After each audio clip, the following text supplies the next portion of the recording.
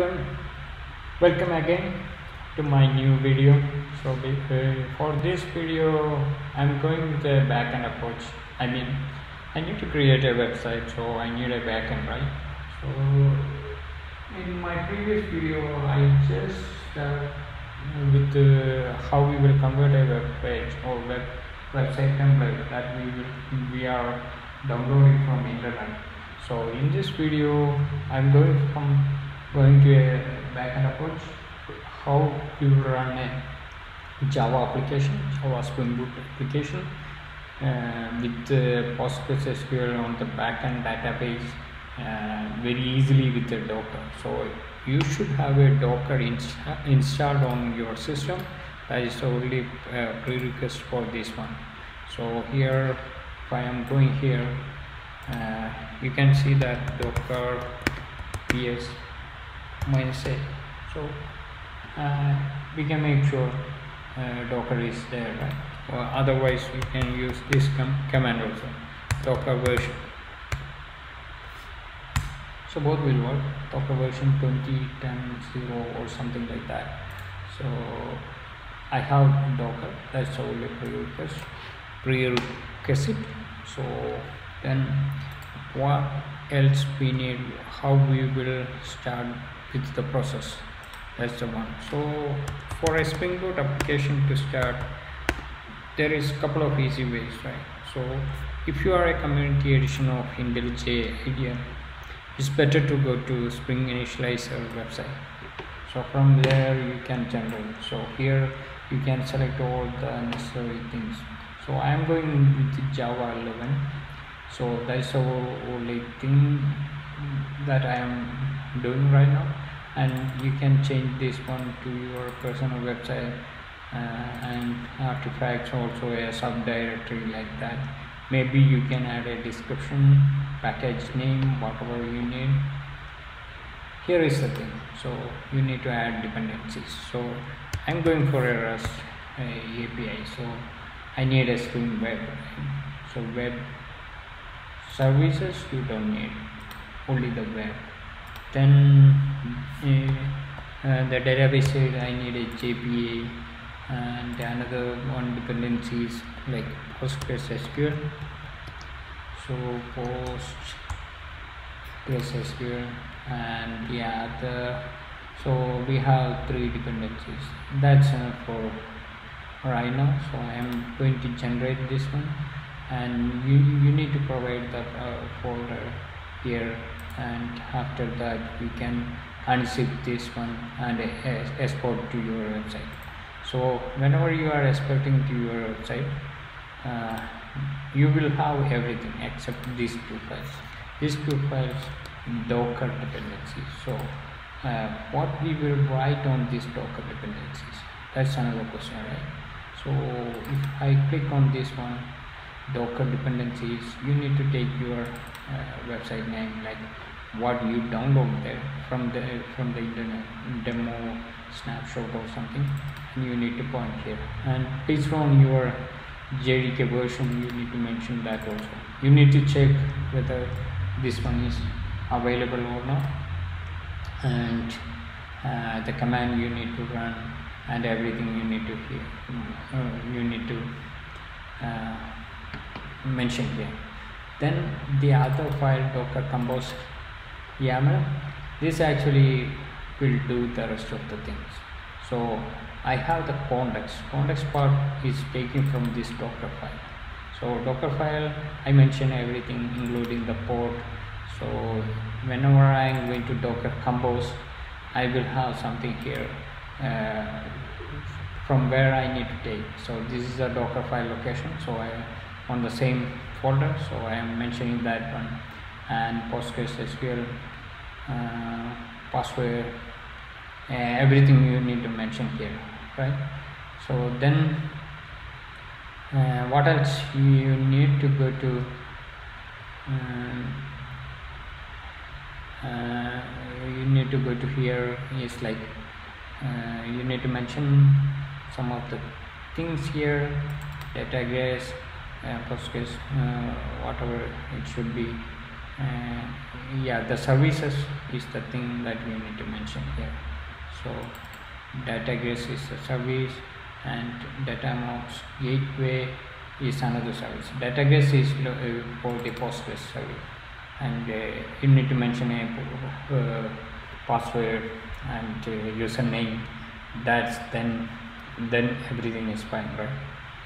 Uh, and you need to the gateway what is the gateway here and network also you need to mention.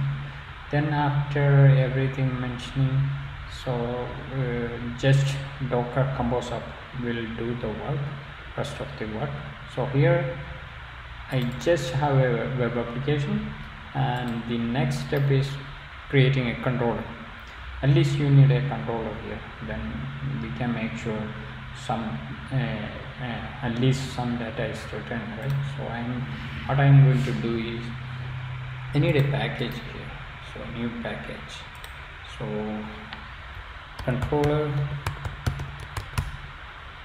Then what I'm going to do is java class data max controller. Then here. I'm going to add like rest controller or something. Then what else I am going to do is here um, I need a endpoint right? So get mapping. Just to get mapping is fine. Then uh, the path I need to mention here. So uh, default is there. So we don't need to change that also. Then probably return a string. Then um, get first. App. Then return.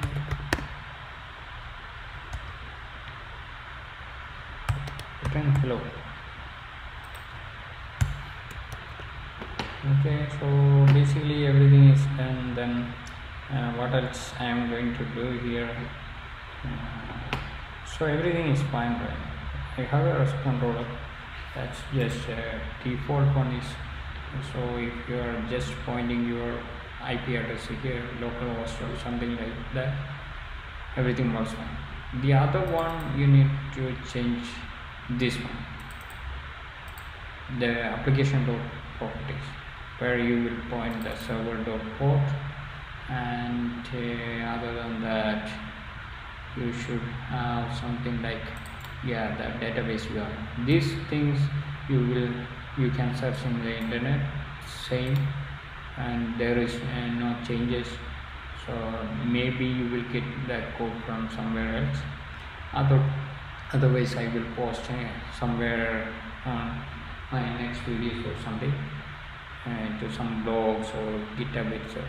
So this one this is actually my network address not localhost so if you are going here uh, I have a service like datagress right? So I need to provide that instead of localhost and the port also is from this one.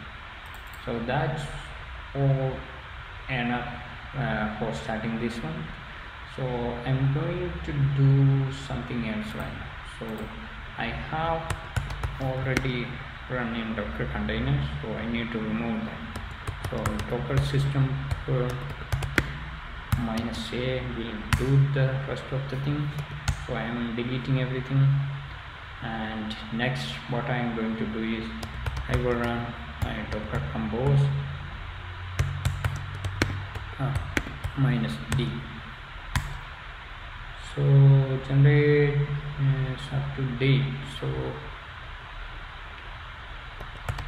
docker ps minus a okay uh, 30 minutes. So this one okay docker stop need to stop everything after that only docker system prune command will work. So here I am stopping this one stop stop docker Store.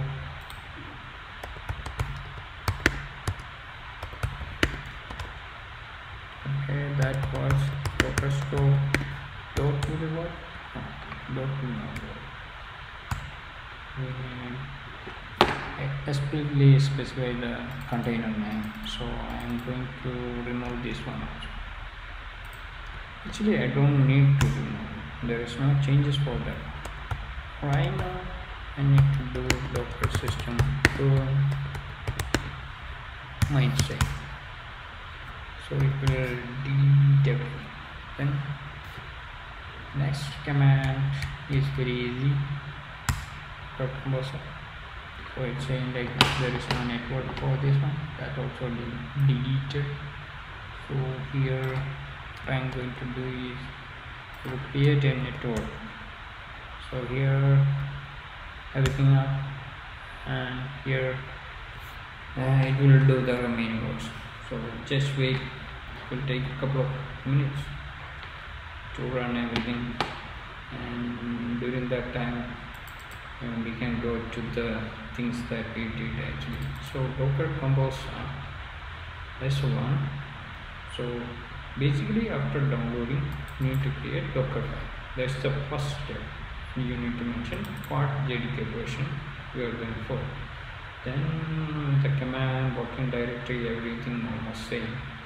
And here you need to mention the version that's in your pom.xml file right? 001 and also the artifact id you need to take from here. Then only it will work. So i have generate so this application is like a data mux generator. So basically what i am doing is generate some uh, random rules or something like that. Uh, i will use some api from the internet. So that's my uh, that's my focus right now. And i am trying to start the build right now uh, the application build. So here also you can see the building is going on so it will take a couple of more minutes I guess. But it is very easy. And also it's very simple right? In a 15 minutes or not 15 minutes 10 minutes you can run a spring boot application but no one can do that. Right now everyone can do. I mean uh, in 2020, 2015 or something you need to do everything manually and it was not much easy to run everything like today right? So I've done seconds so I guess I don't have any issues here. Maybe we can go to the docker logs and make sure everything works fine. Docker logs particular things and you can see that started web application in 9229 port. So right now what I'm going to do is I need to go to my particular port. So localhost localhost 9229 or something? 9220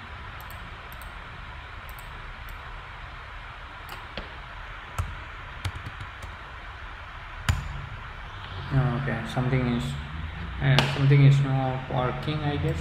So this is the uh, port number actually. So since uh, if you are looking here docker.ps minus a uh, my port 9220 pointing into 9220 data nodes. So the other things actually 9220 I'm porting to 9220 here it is fine and I need to make sure here what is support. So expose 9220 and also here 9229 that's a problem here.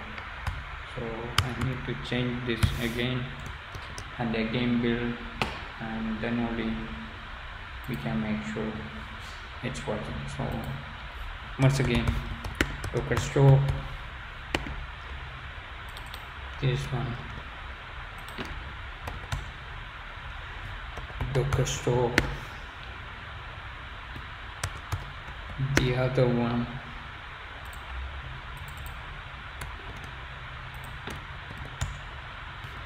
docker system pro minus a. So it will kill everything. Including that particular uh, network right? So I am going to create that network first create okay it's done. Then we, we need to go to local compose at d okay so here uh, we need to uh, come again with uh, everything right so it will take again some two minutes or something to build everything. So right now it's almost 15 minutes and I don't have any pause button for videos recording so uh, so everyone will lose their two minutes for running this application. So uh, what else we can discuss on this time? So I have the controller here. I just mentioned here. So what other things we need? I need a service package right? So I will add a service package here. Then I need a repo repo usually mention like repository or something like that repository to connect with my database. And I uh, probably I will have some model classes to uh, define my database objects. So there should be a model package. So in this package I am going to create a class called